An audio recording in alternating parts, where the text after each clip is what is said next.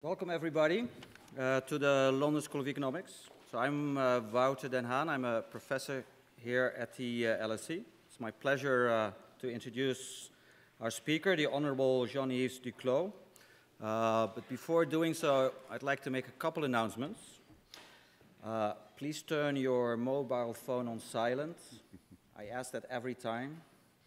And still, now and then, somebody manages to make an awkward sound, and it's always a bit embarrassing. But for those of you guys who do like to use Twitter, the hashtag is LSE Canada, I think. And it should be there. Yeah, there it is, LSE, Canada. The event is being recorded, and if the technique doesn't let us down, then we should make a podcast available on the LSE events website. And the plan for this evening is that after the lecture, there will be some time for Q&A already. So Jean-Yves Duclos is currently the Minister of Families, Children and Social Development of the Canadian government. But until recently, he actually was a well-published and acclaimed academic, professor of economics at the University of Laval.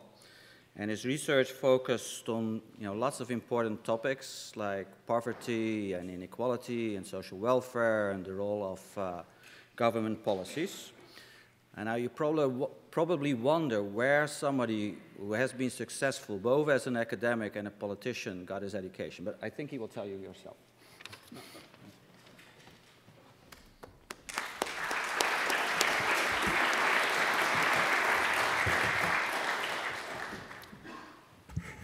Thank you, uh. Before I, you hear the answer, let me first uh, say uh, hello to all you.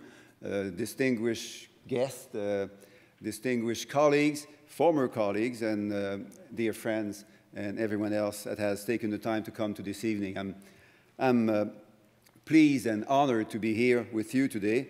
And I want uh, first to thank the LSE for giving me the opportunity to speak precisely this year, which is 25 years after I received my PhD here at the LSE.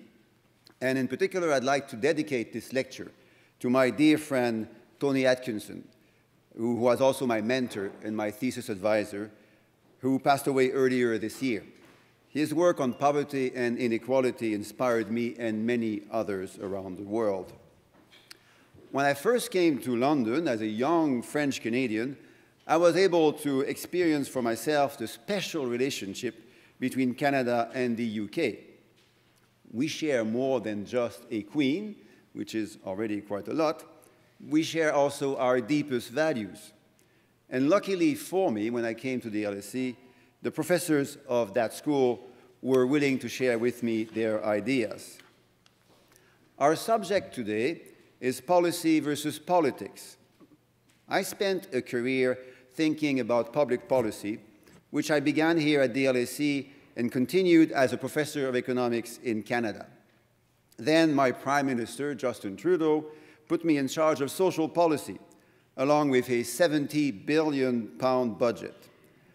I only became a minister in 2015, so I have not yet managed to end poverty or make housing and childcare affordable for all. I can assure you, however, that I am working very hard on that. The LSE has a proud tradition, of course, of economists who impact policy. Alumni and staff from this school account for more than a quarter of all Nobel Prizes in economics. I stood here on the shoulders of giants like Amartya Sen, who has had a great influence on my thinking on the many dimensions of well-being, as well as on the social value of liberty and diversity. This evening, I'd like to talk to you about three things. First, why I entered politics, Second, how being a politician is different from being a professor. And third, what challenges I'm trying to address as a minister. I think the best starting point for tonight is a story about how I got into politics.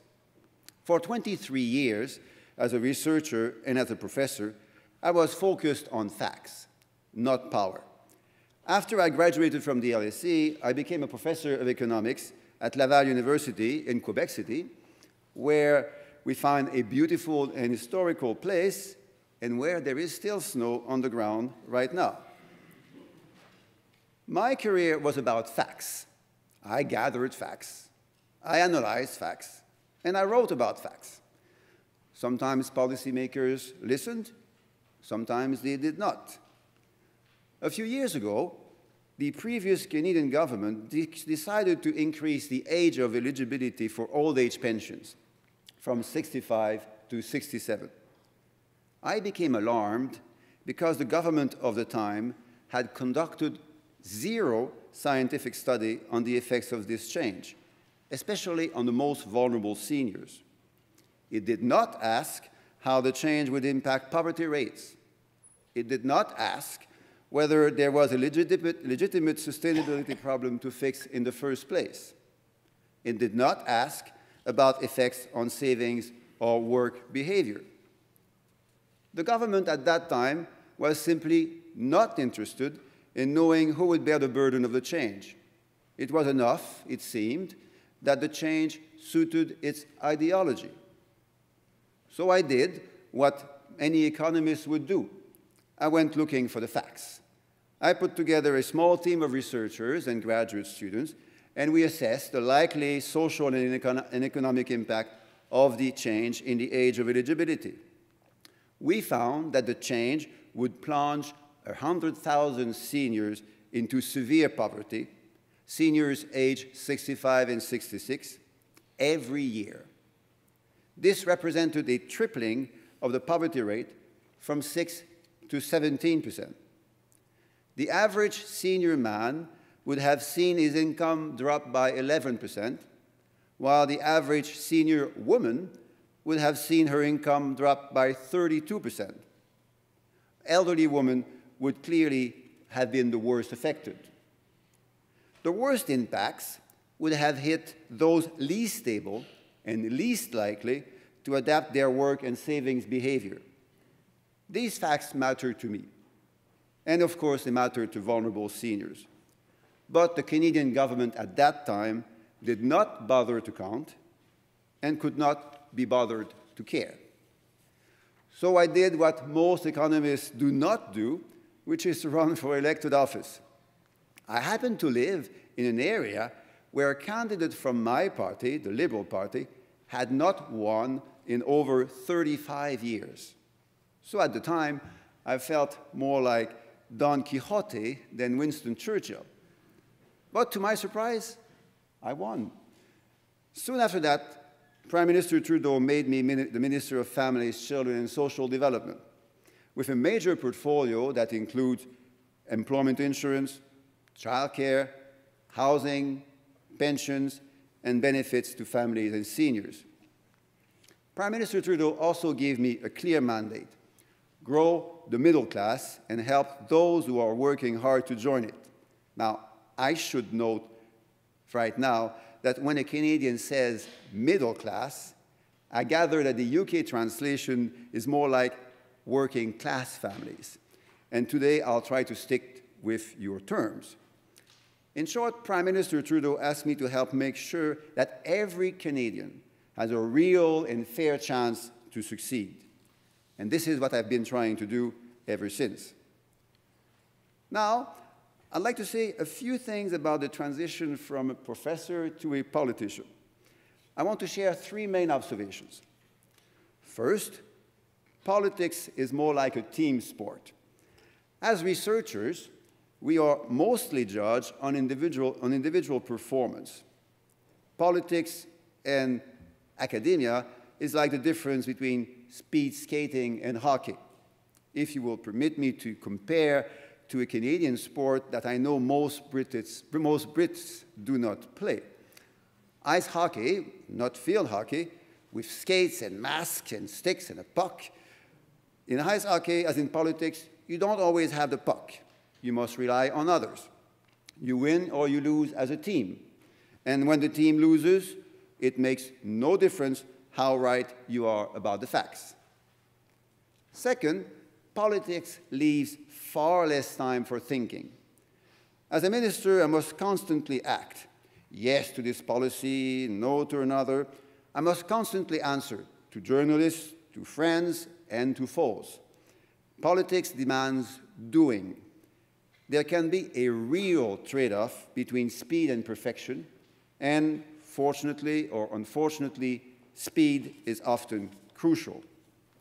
Which is why I think it is all the more important that before I entered politics and before some of us enter politics, I had many calmer years to think about public policy and principles.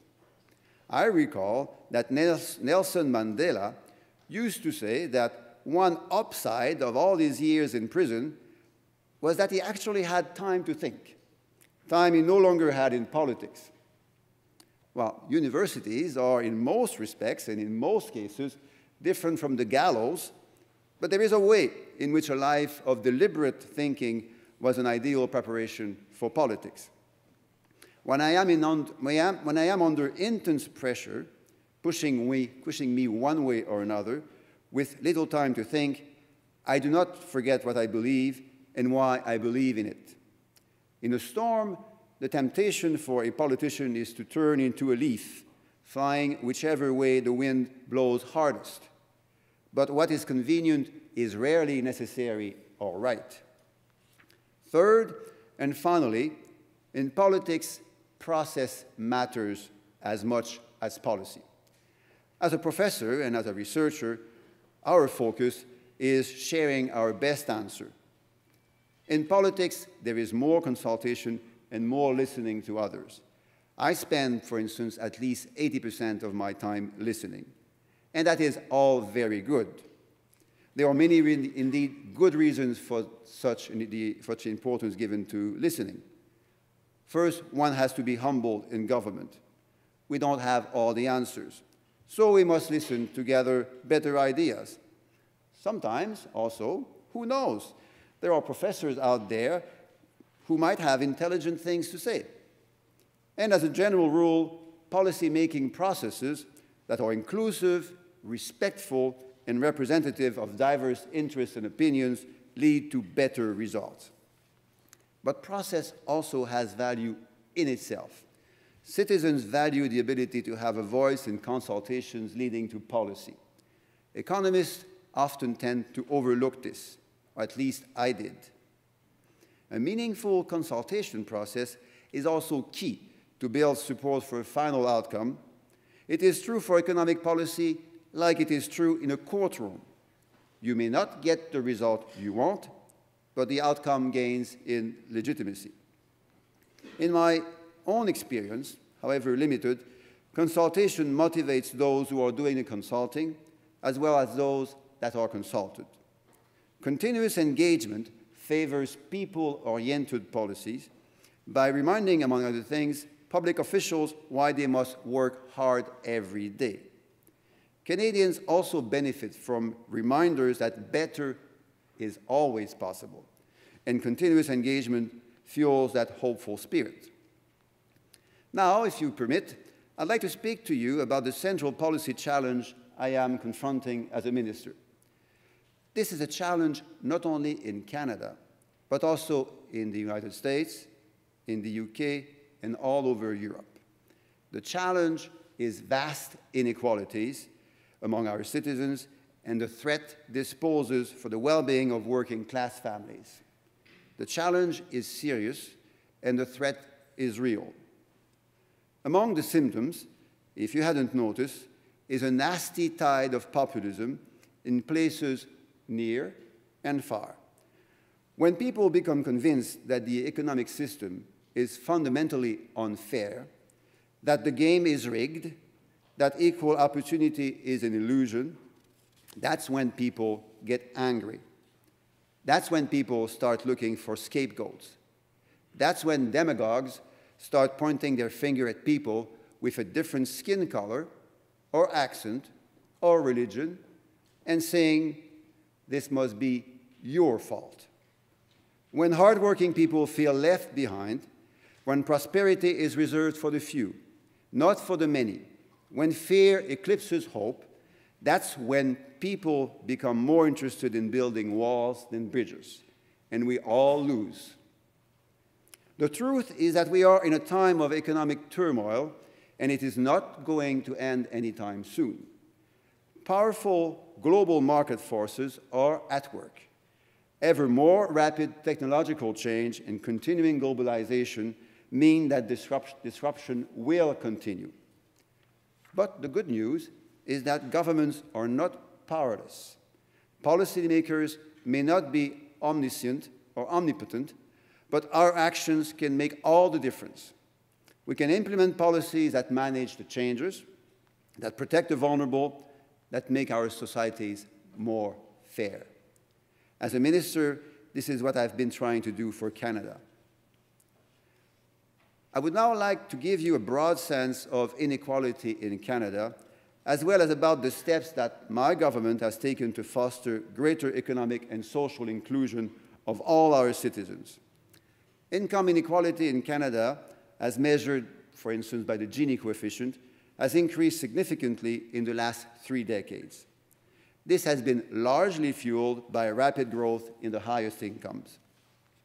In his recent paper on income, on income inequality, Michael Veall, an economics professor at McMaster University in Canada, knows that the share of total national income belonging to the richest 1% rose from 8% to 12% between 1980 and 2010 which is a considerable increase. By comparison, by comparison, in the UK, the share of the richest 1% saw a similar trend over a similar time span, rising from 6% to 13%. In the US, it went from 9% to 19%, and in Sweden, it went from 4% to 9%. In a paper written with my last master's student, Mathieu Pellerin, we found that inequality in hourly wages among full-time workers doubled in Canada between 1980 and 2010. This rising wage inequality is largely explained by the growth of the top 0.1% of full-time hourly wages. My teacher and mentor, Tony Atkinson, spent a lot of time thinking about incomes of the top 1% and what it meant for societies. In Canada, over the last 30 years, the incomes of the richest 1% have risen far faster than the incomes of the 99%. The annual median wages for Canadians, adjusted for inflation, have barely grown in over four decades. For most people, the cost of essentials like rent, childcare, and tuition are growing faster than their paychecks. So Canada's working families feel, sque feel squeezed and with good reasons. My job and the priority of my government is addressing these concerns. Success would mean inoculate, inoculating Canada against the misguided populism we have seen elsewhere. We are trying to show that inclusive growth is possible and that it works. In Canada's last election, we promised to promote more inclusive economic growth. We also promised to improve social inclusion of vulnerable groups, such as Indigenous people, Canadians living in the far north, Canadians living with disabilities, women, children, immigrants, seniors, and the LGBTQ community. Now, let me tell you about some of the policies we have implemented. I will focus on changes with respect to taxes, children and seniors, and social infrastructure. One of the first actions our government took was to reduce taxes for working class families and increase them for the wealthiest 1% of Canadians. That meant that 9, 9 million working class Canadians now benefit from a significant tax cut, while the richest are paying a bit more. In addition to these changes, we made major policy changes aimed at seniors and children. Last July, for instance, we introduce a new Canada Child Benefit, which goes to parents to help pay for the cost of raising children. This is Canada's most significant social policy innovation in a generation. The benefit is far more simple, generous, and equitable than the hodgepodge of tax credits ben and benefits it replaced. Nine out of 10 Canadian families are now receiving greater support than before, but millionaires with children are no longer receiving checks from the government. The families of nearly 300,000 children are being lifted out of poverty in the short term. Canada's child poverty is expected to fall from 11.1% to 6.7%, which will mean the lowest level of child poverty in Canadian history. Canada has also renewed its support for its, for its seniors whose income security has suffered in recent times. Increasing longevity, decreasing access accessibility to defined benefit pension plans, an aging population, changing labor market conditions, all of that has undermined income security for more Canadian seniors. Looking at current numbers, one in four families approaching retirement is not saving enough in Canada. Many seniors work their entire lives and then retire into poverty. All Canadians should have access to a dignified and secure retirement. And this is why, as I said earlier, we restored the age of eligibility to old age security benefits to 65. But we did more. We also enhanced the Canada Pension Plan to increase the share of pensionable earnings that workers receive from the plan's retirement pension. This will reduce the number of families at risk of income insecurity in retirement from 24% to 18%. All Canadian workers, because of this change, will benefit from an enhanced pension plan, particularly the working class and the working poor. The change will lead to more equal and inclusive access to a decent pension plan, greater work and saving incentives, greater support for lower income workers, and greater income security for hundreds of thousands of Canadian seniors. Finally, we significantly increased direct payments to seniors through what we call old age security and the guaranteed income supplement. All told, we increased income security for 900,000 seniors and lifted 13,000 of them out of severe poverty, 90% of them being women. I should pause here to say a few more words about my friend and mentor, Tony Atkinson. Tony was a strong advocate of a basic income, the idea that every person should unconditionally receive some minimum income support. Canada now effectively has a basic income for families with children because of the Canada Child Benefit, as well as a better basic income for seniors. As a minister, I was therefore very proud to contribute to both of these achievements in the last year. Beyond our changes to tax policy and our increased support for children and seniors, our government has dramatically increased investments in social infrastructure. We are making historic investments in childcare, housing, and public transit, for instance. This is the right thing to do, and it's also the smart thing to do. My government has been willing to go into deficits to do all this because we see this infrastructure as an essential investment for an inclusive future, even while we keep an eye on our debt to GDP ratio. The justification is clear. Better income support, better childcare, better housing, and better transit are key ways to give, to give every Canadian a real and fair chance to succeed. And a fairer Canada will be a more prosperous Canada. Let me now conclude. I believe that my training in economics has made me a better politician. My political values are built on core ideas in economics efficiency, equity, and simplicity. I was also trained to value transparency because asymmetries of information often lead to bad results, and to value accountability because everyone should have the right incentives to do the right thing. Efficiency, equity, simplicity, transparency, and accountability. That's not much of a slogan, but it's a good recipe for a good government. Let me then end with a simple observation between the link between what I learned as a student at the LSE, the reason why I entered politics, and what I'm trying to achieve as a politician are all fundamentally linked. I care about facts, and I care about what they mean for people and policy. The facts matter. That, in three words, is my philosophy as an economist and as a, and as a, and as a politician. The facts matter, especially the facts about how policy affects the most vulnerable. And with this, thank you very much. Um, so about the, uh, the Q&A. So the idea is we, uh, we collect a couple questions and then there will be stewards that will hand out microphones. So please wait till you get the microphone because otherwise nobody may hear what you're actually asking.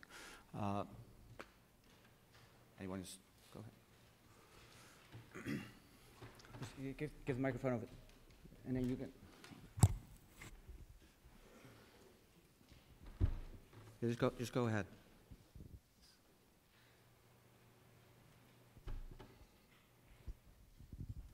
Um, you talked about the difference between uh, academia and uh, government policy. Sorry.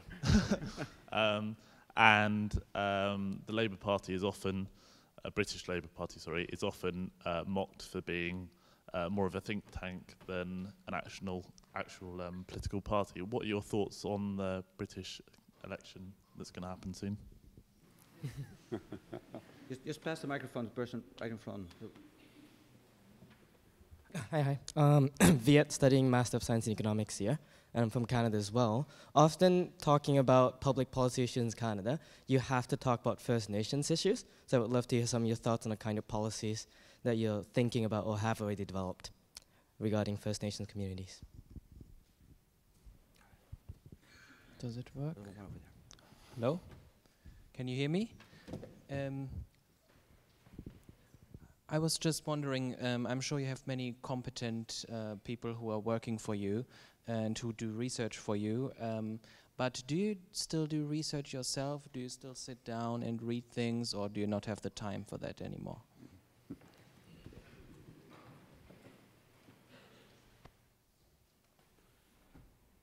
Shall we try that? Ah, I can try that, thank you. Well, on, on the uh, British election, I, uh, not only is my uh, opinion irrelevant because I have no vote, uh, I'm not, unfortunately, I'm not a British citizen, uh, but also it's, it would be ill-informed. Uh, I had the privilege this morning of sitting with the Canadian High Commissioner, who may be in the room. She, are you in the room, Janice? She, she was hoping to come, and if she had come, I would have thanked her for uh, providing me in such uh, very condensed time now the, the highlights of what's happening in Britain. But with my, um, my um, limited ability to gather and to understand the, the quite a, a, huge amount of information on politics in Britain in this particular um, time, uh, of uh, British history, I wasn't able to uh, end up with a, uh, a, competent view on where, what you should be voting for in, uh, in June. But I trust you'll make, you'll make the right choice. Now, on, uh, on indigenous Canadians, Prime Minister Trudeau has repeated often, and in my mandate, this is very clearly important, that the most important relationship between our government is with indigenous peoples.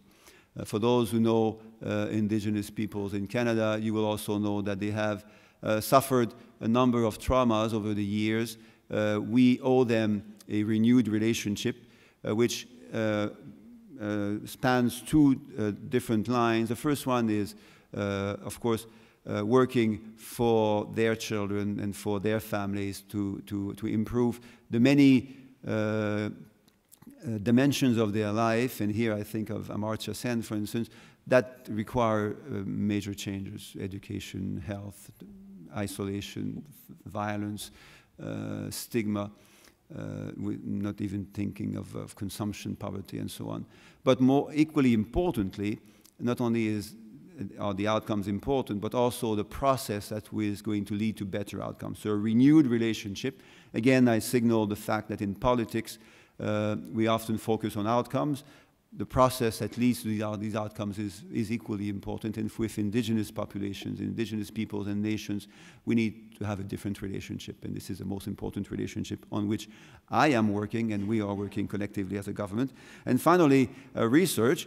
Um, a politician uh, has two, at, at, least two obligations. One is to be uh, listening, as I said. The other one is to be honest. And, and to be honest, no, I have no time anymore to do research. However, although I have no time to do research, I enjoy reading about research in a different manner. And uh, some of us in this room who are uh, or, or, who were academics have certainly heard the views that uh, as academics we need to be more uh, policy oriented, you know, to, to, to, to write more clearly and more openly about policies. That is true. In my earlier life, I thought it was true without being convinced of that. Now I'm, I'm very convinced that uh, whenever feasible and possible, and academics have many other things to do, it's important to uh, make his or one's view uh, about policies and politics as clearly uh, understandable as possible. And it's also, it's also true that politicians have little time to, to, to, to, to understand all of the important details. So you know, something clearly accessible to policymakers is something uh, I think that is important for anyone hoping to do policy-oriented research. Great. Go to the next round. Two over here.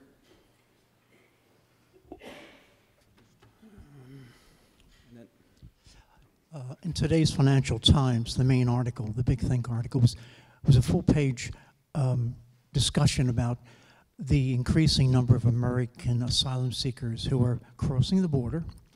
Uh, it's been thousands this year so far, um, seeking asylum in Canada. How does government policy um, give assistance to immigrants, knowing that the sensitivity of that issue?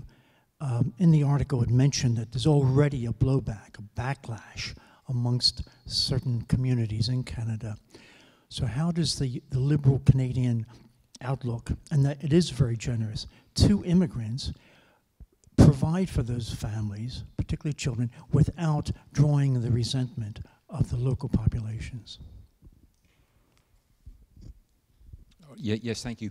My question, uh, fairly simple. Why are so many politicians so resistant to evidence-based policy making? Hmm. There's one more. Um, oh, back, back over here. um, I'm also a Canadian student um, finishing up my master's at LSE. Um, and in your speech, you mentioned that with the new childcare benefit and as well changes to senior policy, that we have a form of basic income. But I'm wondering if you're seriously researching a policy to actually implement um, uh, a basic guaranteed income for all Canadian citizens.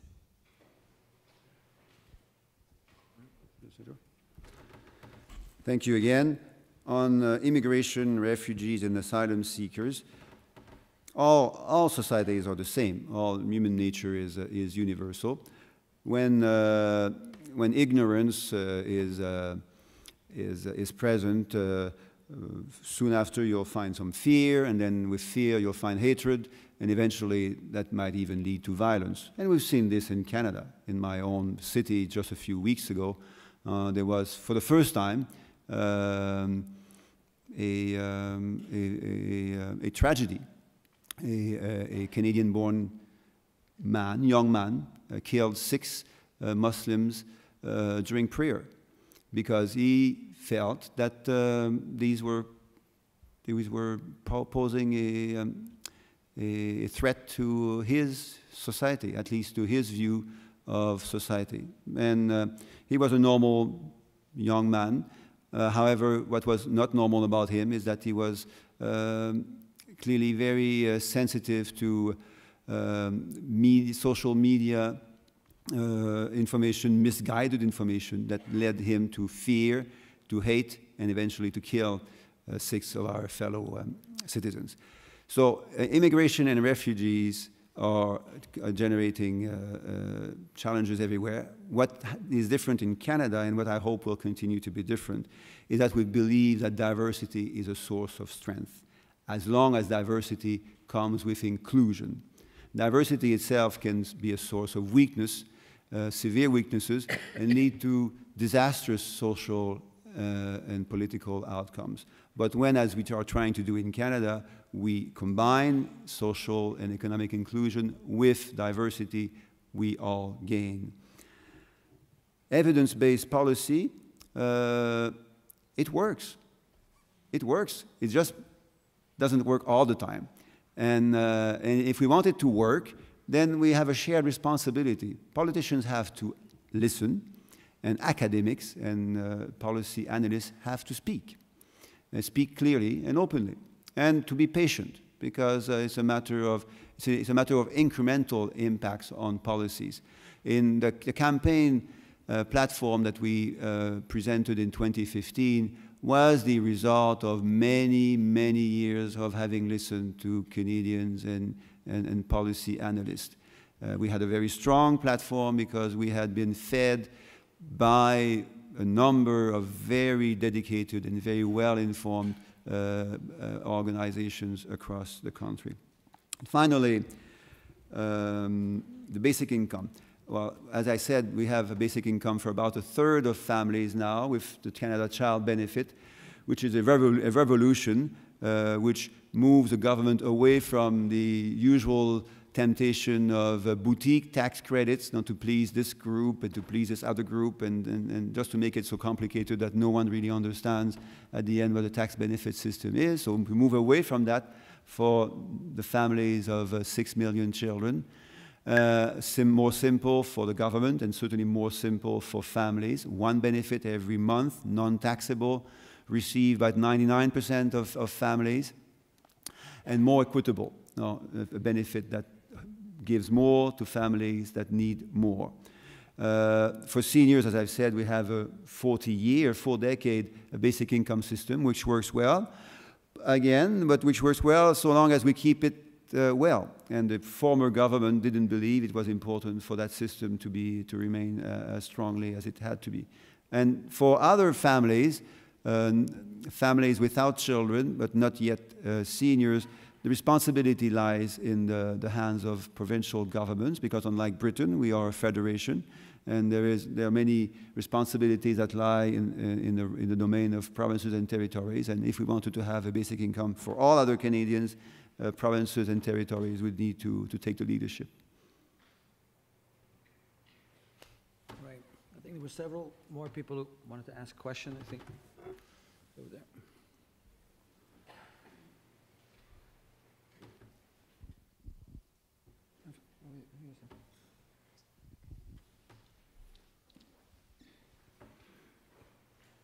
Thank you. Um, I just wanted to know how helpful and or unhelpful do you think the media is to governments trying to deliver their um, policy aims? I feel as though in the UK that the media at times can be a hindrance to policymakers trying to use facts to deliver inclusive policies. Um, yeah. Yeah, I think there was a question over there. Hi. Uh, to what extent do you feel that social policy reforms are moving moving away from providing security from life's hardships and challenges towards engineering behavioral changes in society's most vulnerable. So I point towards policies in the UK such as uh, welfare to workfare, sanctions and punishments on those out of work, the disabled and the poor. And almost the myth of uh, welfare dependency as a form of justification for these reforms.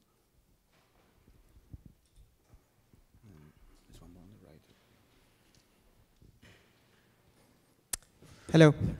Uh, my question was back on the uh, indigenous question. Uh, specifically, there's the commission going on right now on murdered and missing um, indigenous women. And specifically on missing women, I wanted to, to know from the point of view of policymaking, how do you account, how do you manage people who are missing? Because they do not fit any governmental category. So how do you manage those people and how do you bring a solution to that problem? Thank you.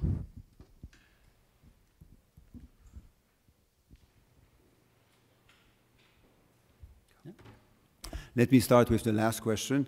So the, uh, you're well informed. Yeah, we, uh, and that relates to an earlier question uh, that was posed um, regarding the, uh, the, the, the, terrible conditions in which many of our indigenous families find themselves. Um, the symptoms of those conditions are, um, are, visible in many ways, and one of them is the significant level of violence uh, against uh, uh, indigenous uh, people, and in particular against indigenous women, both within and outside, from within and from outside the uh, indigenous communities. Uh, it's, it's a terrible uh, outcome, which uh, is in part due to the uh, effect of uh, colonization over many, many decades. And so we, again, we need to consider the facts and we need to consider the policies. The facts are being gathered, as you, as you said, by this commission, which has been waiting for very, very long. Uh, it's going to be a very difficult exercise, uh, and not least for indigenous families and communities. But we need to go through that exercise and to gather the evidence that we need in order to build better policies. Uh, we were not going to wait for that to do, do what we, we need, what we know we need to do. So we're, we're we're investing, for instance, in early learning and childcare. Uh, we've, done we've done that since the start of the new government for children. So we start from very early on, investing in education, then investing in work opportunities, and th basic things like health and clean water, you know, uh, which are lacking in, in, many, in many communities. So all of that, again, in, multi, in a multidimensional setting, uh, will over time, again, it will take a long time, will improve uh, uh housing, uh, uh, indigenous conditions and outcomes. The principles guiding the policy changes, let me take the Canada Child Benefit example. With the greater simplicity of the benefit, now we are obviously making it more simple, less costly for the government to manage. we're also reducing errors. my PhD was on, in part on the the effect of errors um, made by government when, when governments administer uh, benefits. My, so those of you who are old enough might remember the supplementary benefits. I don't think this language is used anymore in Britain. Who remembers uh, supplementary benefits in this room? A couple of people, very good. So the allocation of supplementary benefits was means tested and no, was made with some errors, as, as you would expect. And so my part of my PhD thesis was to understand the, the problems caused by those complica complicated rules. Now, those complicated rules uh, often make, not always, but often make this, the benefits less equitable, and they generate uh, efficiency issues regarding work and savings uh, incentives. So, and when these when you look at the complex system of the earlier government, uh, you, you, look, you find out, for instance, that marginal, effective marginal tax rates are very high, effectively discouraging work effort and savings, uh, savings effort. So the new Canada Child Benefit, because of a more simple and, and more intelligent uh, structure, increases work and savings incentives, again, while making it more simple and more equitable. And uh, I forget about the first question. Media. Media? Media. Hmm. Uh, I know, uh, I, I, think it still is the case that in Britain, in London in particular, you know, the media environment is rich. And that's all great. In my own city, in Quebec City, the media environment is also very rich, with all sorts of, uh, of views and, uh, and, uh, and sometimes opportunities to divide as opposed to, to unite. We need to, to to value two things when it comes to media. First, freedom. Second, responsibility.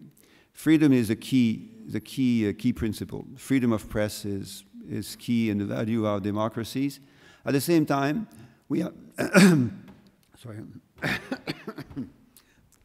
I think the media are trying to censor me.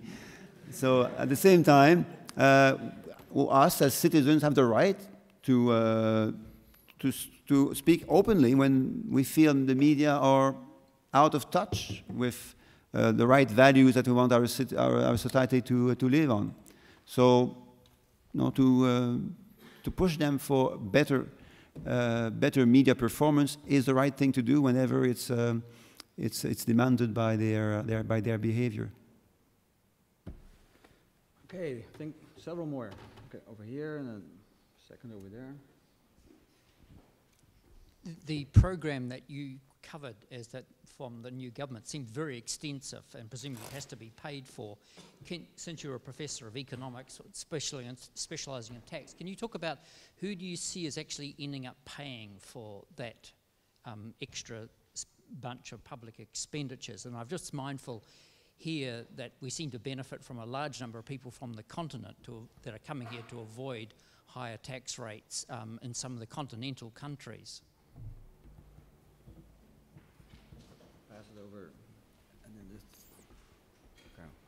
Thank you. Um, hi, I'm another Canadian master's student here.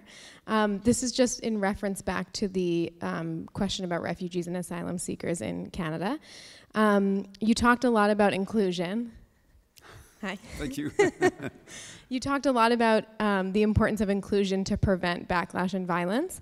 And I'm just wondering, with respect to refugees and asylum seekers, how do you balance inclusion in communities and in policies, but also the special needs of those populations with, you know, coming to Canada without having previous experience with government systems and social policies, and how do you integrate them into existing policies when, you know, balancing inclusion and their special needs? Over here. Um, so you were mentioning uh, the importance of facts in policymaking, which I really uh, respect. I was wondering if there are any policy areas that you think um, that we really need to uncover more facts in, if there are any specific areas for that in social policy. Good. Let's add a fourth because I promised somebody then. Okay. Hi. Oh, is it on? Hi. Um, as a young woman who's hoping to have a career but maybe also start a family, although that seems like quite a long way away now, um, do you see or are you planning to make childcare and paternity and maternity leave more flexible, cheap, and useful to allow women to have a more successful chance to re enter the workplace and effectively re enter the workplace after having a child?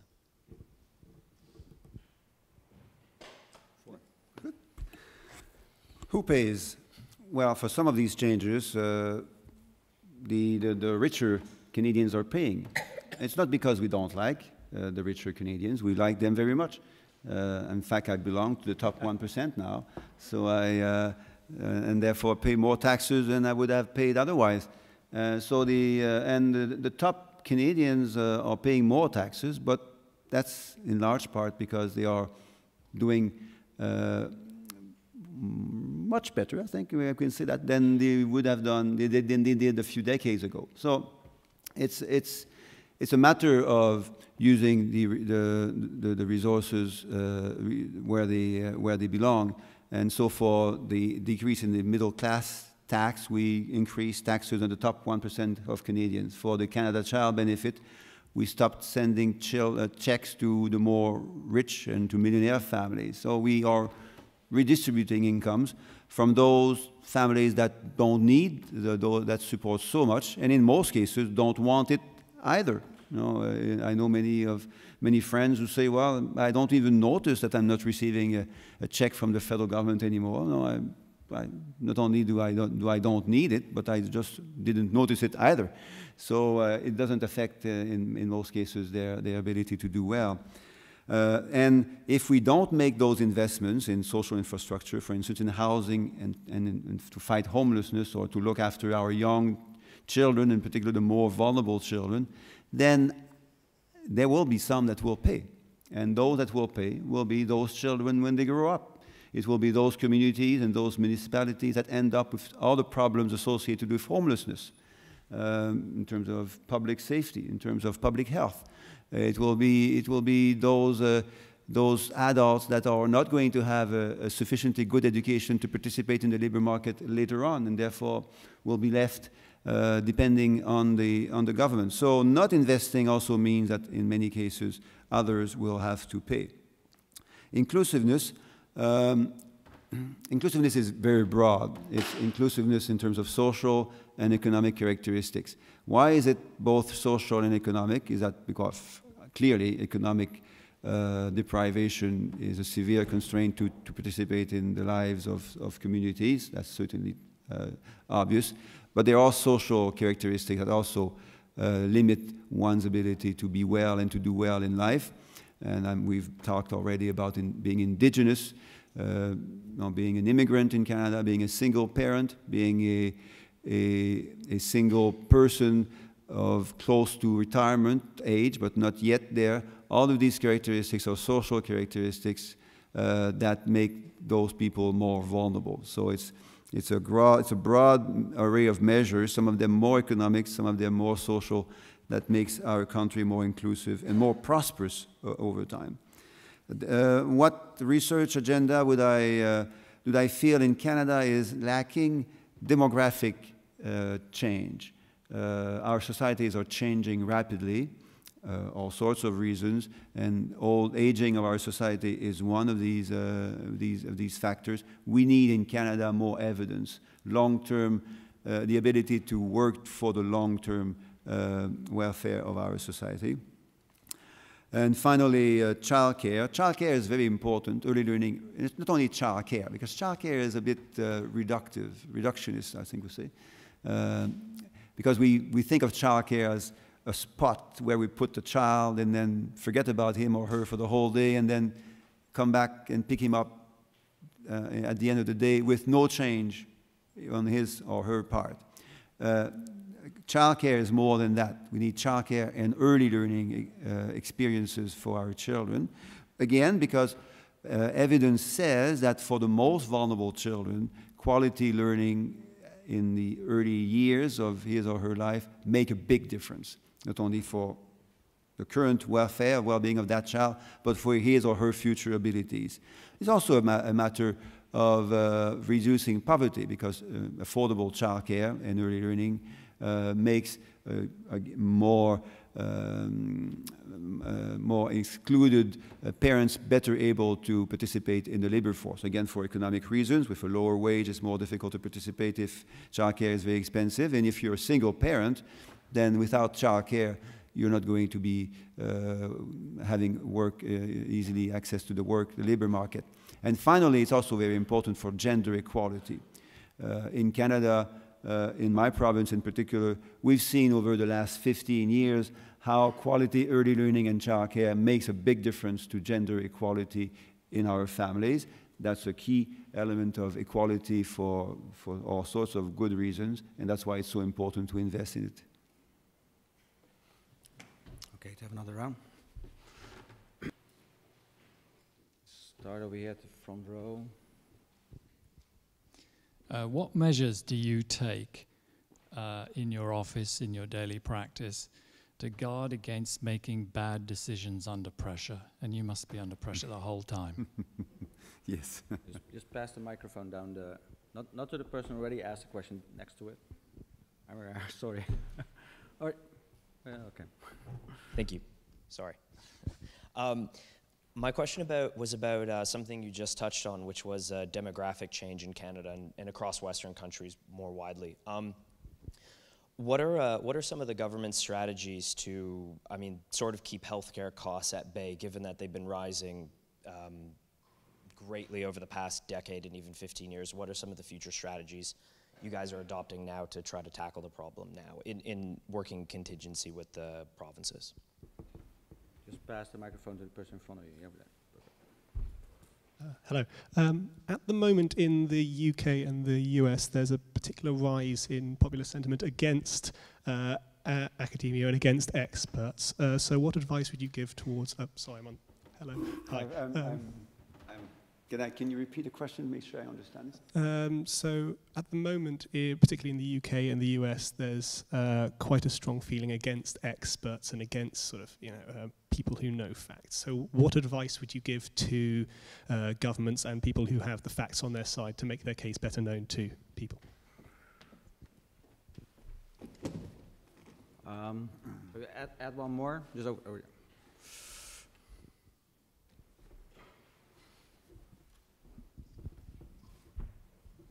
Hi, sorry.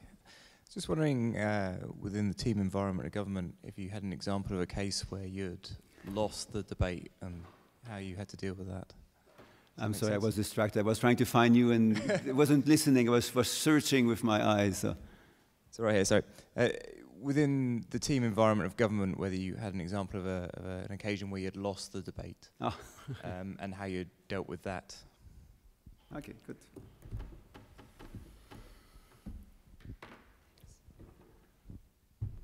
Thank you. the uh, bad decisions, what, uh, what protection is there against making bad decisions? In, uh, in our system of government, there are uh, quite a number of, uh, of mechanisms that will tend to protect our, our country against bad decisions. And uh, let me just, for instance, mention that within my team, before anything else is decided, we, we need to collectively discuss whether a, a policy is, is correct. And then that extends to a committee, a cabinet committee, where a proposal is, uh, is discussed and, and criticized in many cases. And then it extends to the cabinet, the full cabinet of the government, where again a, a discussion is expected. And all of these, uh, these cabinet meetings, cabinet committee meetings, and cabinet meetings are being uh, scrutinized by what we call three uh, central agencies, and I think that also works in Britain. The first uh, is the, the, Treasury Board, which is a very powerful central agency. The second is the, the Department of Finance. Um, I think it has a different name here in Britain. Uh, the, the, Exchequer, the Chancellor, the Treasury. And then the, uh, the Privy Council. I'm not sure if that's, we, much, much of our traditions come from Britain. Uh, so, uh, and, but this being said, um, some of these words might not make a lot of sense to you. The, the, the Privy Council is the council of um, honorable people. Uh, in Canada, if you're a minister, you're an honorable uh, minister. So I am Honorable Jean-Yves Duclos. No, I don't like that, but it's, it's the, it goes with the, the function. And because you're honorable, you belong to the Privy Council. You know, anyone that counsels the Queen or the King or the Queen in this case has to be honorable and therefore will belong to the Privy Council and will be assisted by the Privy Council, the office of the Privy Council in Canada. And they also do a very severe uh, job at uh, assessing the the, the, the, possibilities that some decisions will be misguided. This being said, at the end, despite all of that, the decision is political. So if a government wants to put in place a bad policy, at the end, nothing will stop that government from making that change. Um, healthcare. In, in, uh, in, my earlier life, I, with my, some of my colleagues, we estimated that in Quebec, my province of origin, a third of the uh, increase over the last uh, 20 years, the increase in healthcare spending was due to aging. Two thirds uh, was due to what we call structural cost. Structural costs related to uh, uh, things that are not related to the age of, of, of, citizens. So it could be the fact that uh, chronic diseases are more important than they used to be, technology costs more, it could be that the system is working less efficiently than it used to. So what are we going to, to try to alleviate that, knowing that healthcare is of a provincial jurisdiction? Now we're investing in home care, and we're investing in, in, in mental care, and investing in decreasing the cost of pharmaceuticals, and investing in uh, encouraging provinces to share, to test and to share innovative practices. So the federal government uh, is, is, is working with provinces and territories. That's not easy to do. Uh, those who follow the Canadian uh, situation have seen this in the last few months, but we have a, a, the, the, the, responsibility to do this uh, because we believe it's very important. And now people, um, why are people um, skeptical of experts?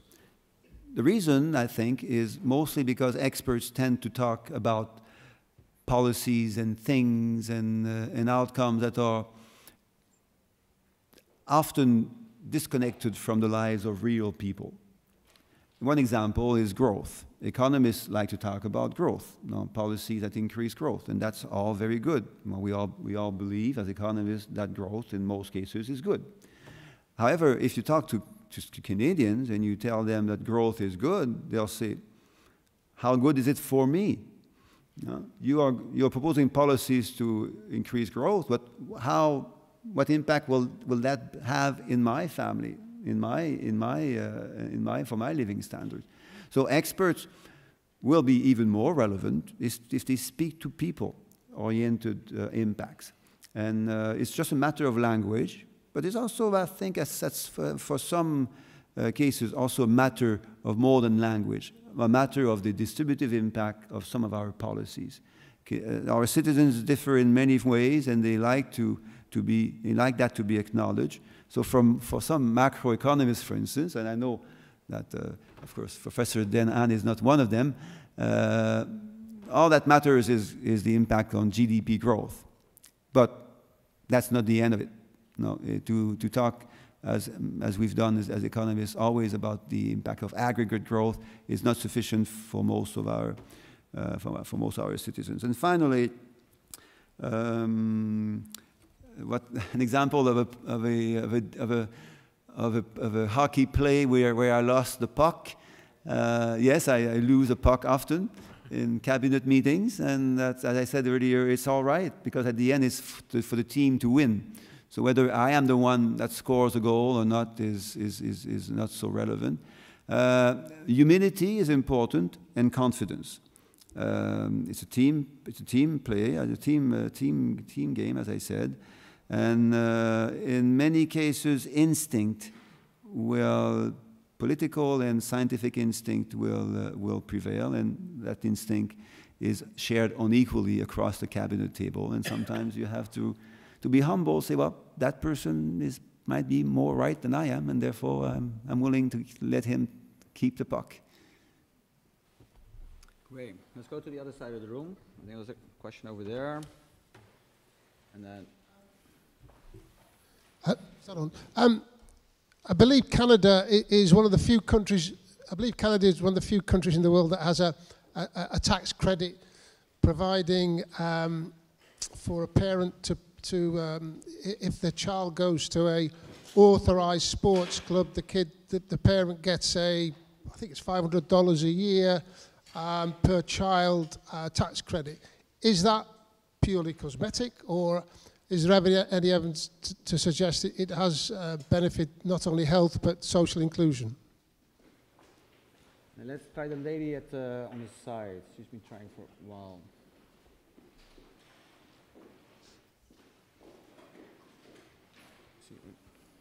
So there's a new um, regarding the um, housing uh, market in Toronto, and I would like to know what is the what are the strategies to prevent um, uh, the impact of that role on other cities like Montreal, for example?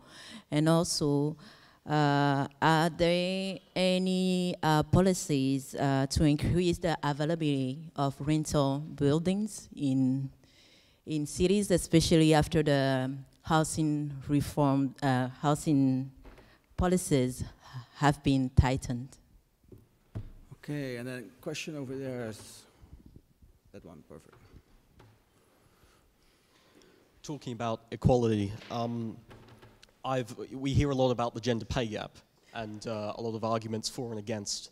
And as someone who's, uh, uh, well, both sides seem to cite facts that seem to be infallible. I was just wondering how uh, you, you, you perceive this and how you, you combat it. All right, let's, let's add one more over here.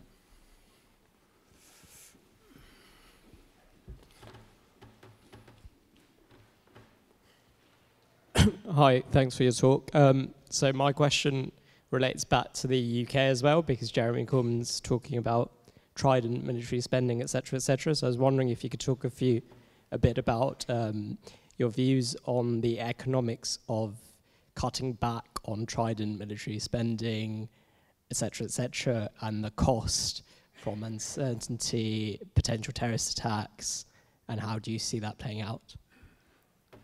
In the context of uh, trade in which country? Trade from Canada or trade from Britain? Uh, both. both, okay.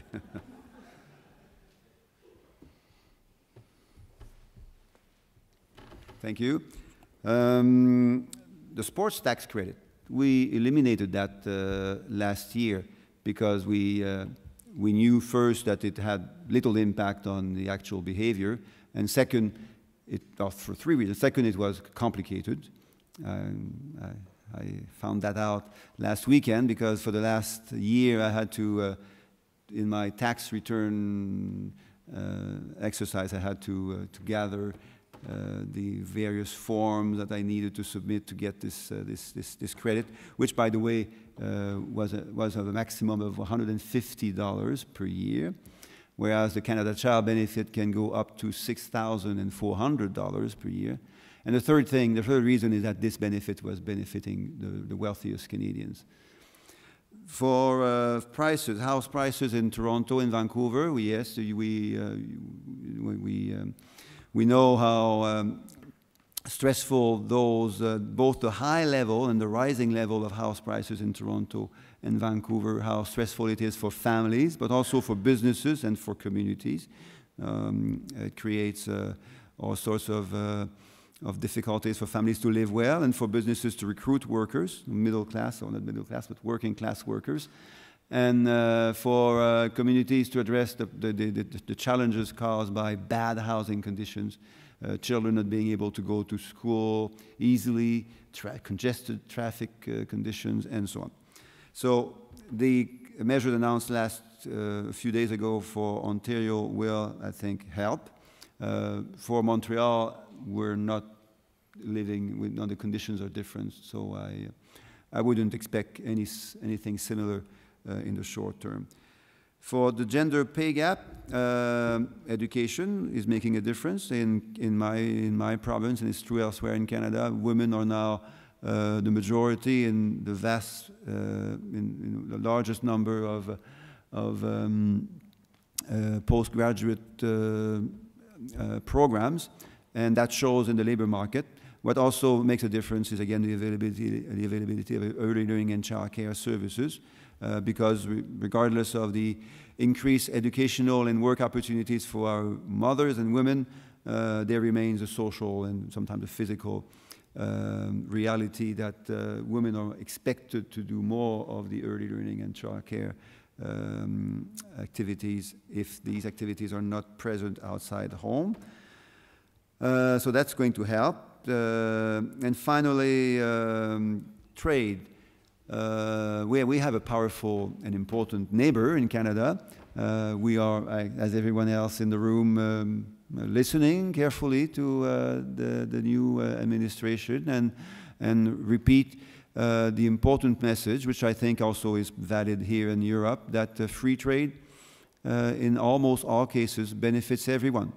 Uh, and, uh, and the free trade uh, arrangements in Canada and the US, well, with Canada, the US, and Mexico, these agree agreements can be improved, but they are already working quite well. So we are sending that message to the US saying that uh, those arrangements are mutually beneficial for Canadian workers and businesses and for American workers and businesses as well. Do you think you have time for one more round? Yeah. I know you're jet lagged because you just came in this morning, right? But all right, so there's more time. Let's, let's go over here.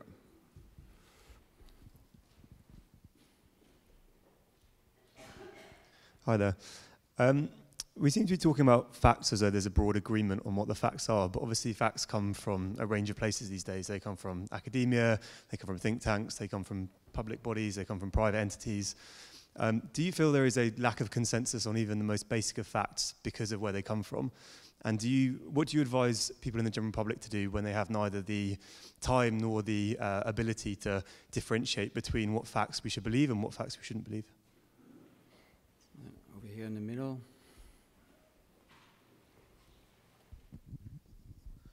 Oh, so further, with respect to the facts, uh, my question is about how you make sure that when people collect, they collect facts, sorry, just here.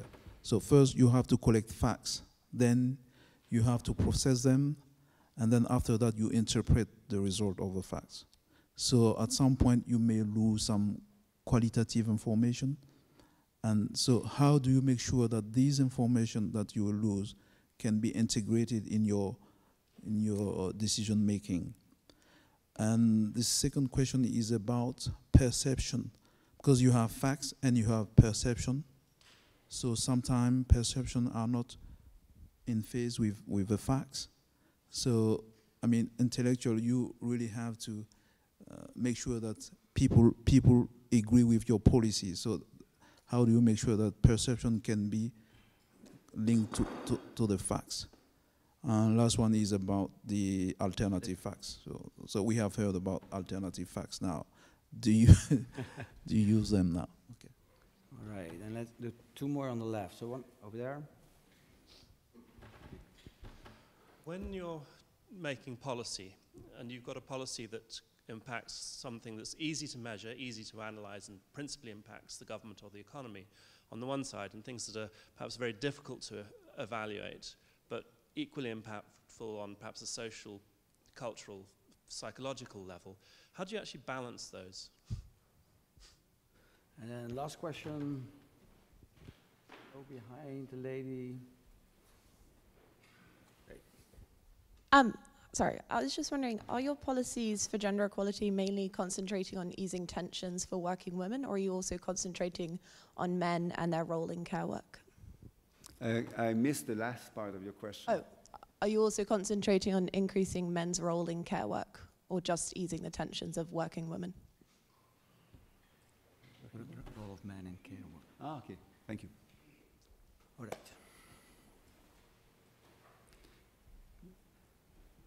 Well, the first three questions were about facts. Um, for facts to, uh, to have the, their proper importance in society and in decision making in particular, we need a number of four conditions. First, we need a strong statistical agency, independent statistical agency. In Canada, we do have one. Uh, Statistics Canada has a, has a world reputation for being not only rigorous but also independent. Although, and I don't want to be partisan, but for the sake of transparency, I would signal that the last government uh, put into place a, uh, or forced Statistics Canada to uh, stop what is called a, uh, the long form census in 2011, which meant that uh, precious, important uh, information about Canadians uh, was not produced in 2011. Instead, the previous government forced Statistics Canada to do another survey, which at the end cost more than the long form census and generated data of lower quality. So greater cost and lower quality for ideological reasons because they, th they felt that you know, the information uh, didn't suit their, uh, their needs and their wishes. Uh, so strong statistical agency, a strong civil society, and that incorporates, that includes the academic, strong research, financing for people like my colleague here to do what he wants and what he likes to do, and in a competing environment so that uh, the e efficiency of, uh, of the investment is, uh, is, uh, is encouraged. Strong media, as I said earlier, freedom of the media, that's very important, regardless of how well we think they are sometimes doing their job. We need com competition across the media for the better facts to emerge at the end, and accountability on the part of the government. Now, in, uh, in, in Canada, uh, since with the last government, we have built on, uh, I forget the name, I should, uh, deliverology. Now, has anyone heard about deliverology in this room? Probably not, unless, well, except for the more experienced people in this room.